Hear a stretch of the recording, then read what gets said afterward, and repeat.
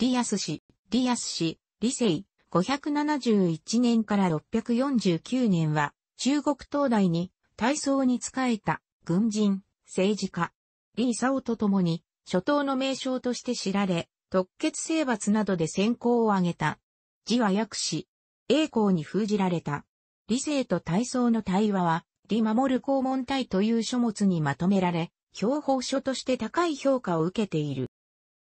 慶長軍三原県、現在の先生省官用市三原県の人であるが、本願は、老政軍、現在の官宿省東南部。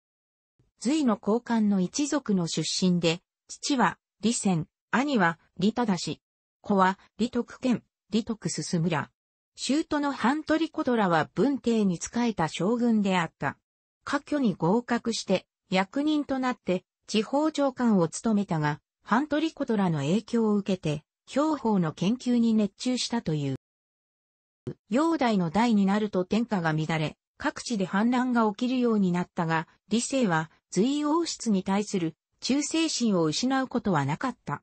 直属の上司の李園が謀反を企んでいることを知ると、江戸に巡遊中の煬帝に直接知らせに行こうとしたが、李園も計画の漏洩を警戒していたため、なかなか抜け出す隙を見出せなかった。そこで理性は、江戸に移送される囚人に紛れて、抜け出そうとしたが、計画は露見して、李園の下に引き出された。すぐさま処刑しようとする李園に対して理性は、国士無造と称した前官の関心を引き合いにして、貴公は挙兵して、天下のために暴虐を除いて、民を安らげて、大事を成し遂げようとしているが、何のために支援によって、中心、義士を殺すのかと問いかけた。この時傍らにいた、理性民、後の体操はこれを聞いて喜び、父に理性の除名を嘆願して、以後配下に加えた。理性は、理性民の強力な幕僚として付き従い、隋が崩壊した後の統一戦争において様々な検索を行った。王世中との戦いで武功を挙げたことで、理性の武将としての名声は高まり、当の中国統一における大きな障害であった、江南の装族との戦いでは全権を任されるほどであった。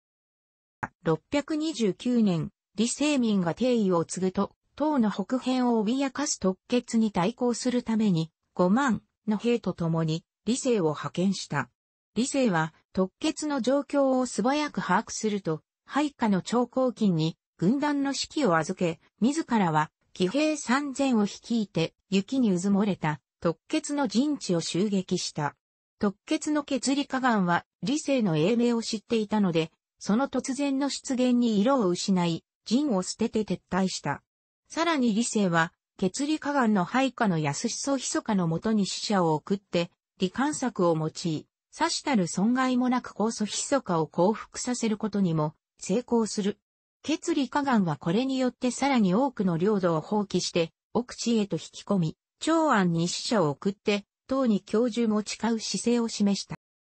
大僧はこれに喜んで、理性を長安に呼び戻してねぎらい、合わせて、理性に特決に対する外交を担う全権を与えた。理性は、血理加願の死者をもてなして、幸福を受け入れるかのように見せかけながら、備えを整えると、ためらう同僚のリーサを説得して、騎兵1万に20日分の食料を持たせただけで、特決の本拠地に向かって出撃した。死者からの報告で油断していた特決軍はなすすべもなく、破られ、血理加願とその一族は捕らえられ、血理加願の妻で、隋の喪失である、犠牲公主を処刑した。これによって特決は滅亡し、以降の数十年間は、唐の北部国境では戦争がなかった。634年、今度は西部の豊久根が唐に背き、死者を監禁して攻め込んできた。大宗は理性を東大一の戦上手と一目置いていたが、老齢であるので別の将軍を任用しようと思っていた。これを聞いた理性は自ら志願して、豊久根討伐へと赴き、数万の兵を率いて5カ所から同時に進行した。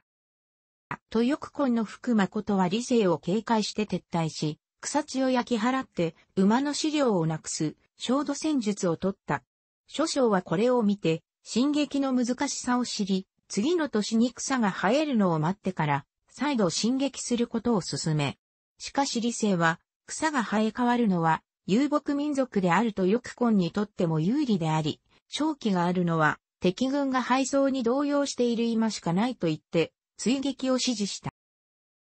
全軍は上に苦しみながらも進撃し、福誠は部下に殺され、豊根は滅びた。後に、大曹はこの時に、理性が捉えた、福誠の着手を、西平軍王に取り立てて、祖国に復活させたため、西部国境においても長らく平和が保たれた。晩年においても、大曹の絶大な信頼は、微塵も揺るがず、最小を務めるなどして、終わりを全うした。上昇を誇った理性の戦術の基本は、騎兵の機動力に依存した長距離奇襲戦法であった。敵の思いもよらない方角から攻め込んで混乱させ、敵が握る方向を正確に予測して、伏兵を置き、攻撃して殲滅するという戦法によって、理性は味方の兵が敵より少ない場合でも常に勝利を収めた。その鮮やかな勝ち方から、中国では理性をして、史上最高の名称とする書籍が多い。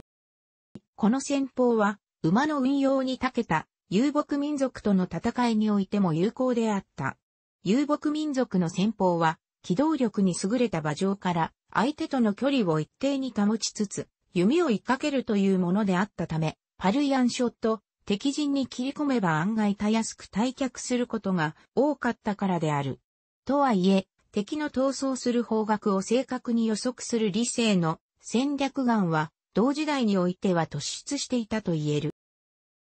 この機動力に重点を置く理性の標法は、理性病法などの書物にまとめられ、後世の標法の発展に絶大な影響を与えた。中でも、李守公門体は、仏教七書の一つとしてもよく知られている。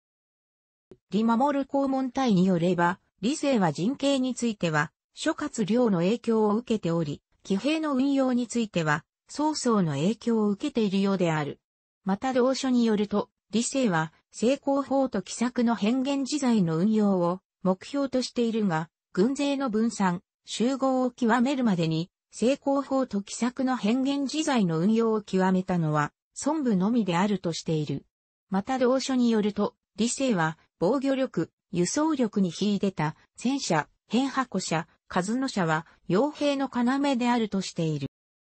楽しくご覧になりましたら、購読と良いです。クリックしてください。